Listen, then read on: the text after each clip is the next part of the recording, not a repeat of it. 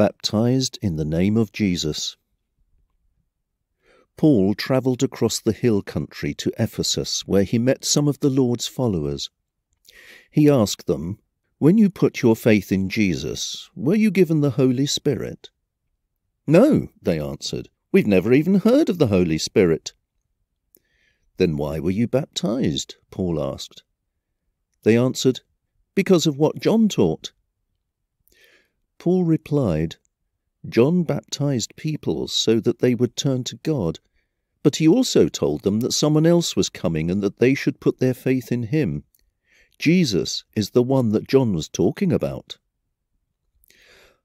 After the people heard Paul say this, they were baptized in the name of Lord Jesus. Then Paul placed his hands on them. The Holy Spirit was given to them, and they spoke unknown languages and prophesied. There were about twelve men in this group.